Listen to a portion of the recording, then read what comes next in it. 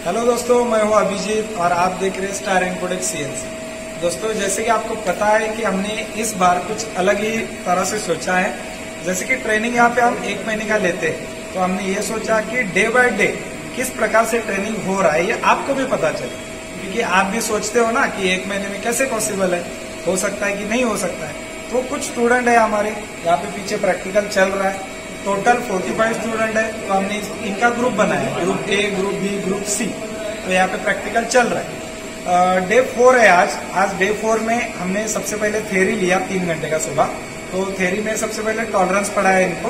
Tolerance के अलग अलग जो टाइप होते हैं bilateral tolerance unilateral tolerance general tolerance limit tolerance बहुत टाइप होते हैं उसमें। आईएसओ स्टैंडर्ड क्या बोलता है? ड्राइंग के हिसाब से टॉलरेंस कैसे लेना है? ओपन टॉलरेंसेस क्या होता है? ये सब पास कंप्लीट कर दिया। तो वहाँ से फिर तेरी कंप्लीट हुआ। उसके बाद प्रैक्टिकल चल रहा है इनका। दो बैच का प्रैक्टिकल हो चुका है। ये तीसरा बैच है अभी।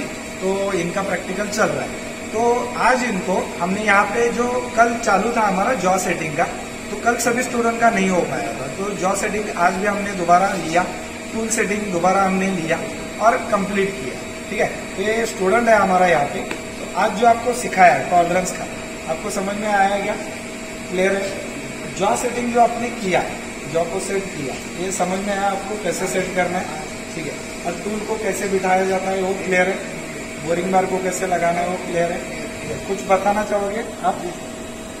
जॉ जॉ सेटिंग करने के लिए सबसे पहले हम बोरिंग टूल का इस्तेमाल करते हैं। बराबर। जिसके लिए हम जॉ सेट कर सकते हैं। बराबर। उसको सेट करने के लिए पहले हम उसको उसको टूल कॉल करेंगे। बराबर। वन ज़ीरो सिक्स से कॉल कर। उसको कॉल करेंगे इतने नंबर पे होगा। उसके पास उसके बाद जॉब खोल देंगे। जाके पास लाएँगे स्टैंडर्ड के पास पिन जा लगा के उसको घुमाएँगे धीरे धीरे।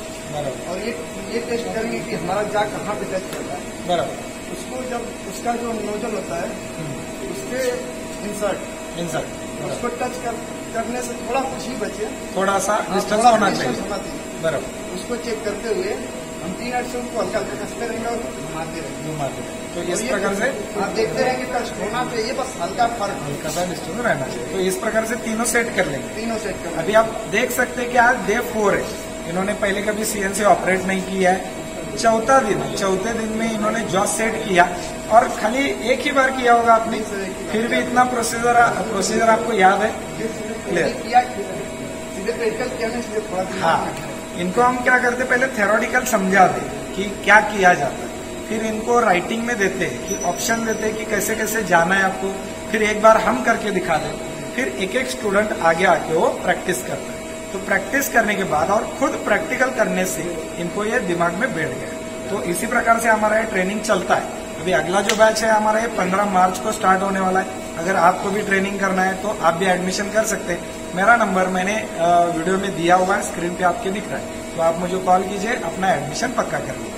और ऐसे ही वीडियो हम डे बाय डे यहाँ से अपलोड करेंगे। डे फाइव में क्या हो रहा है? सिक्स में क्या हो रहा है? एक महीने तक पूरा डेली हम कैसे पढ़ा रहे किस प्रकार से बैच इनका आगे बढ़ रहा है? ये आपको भी पता चले।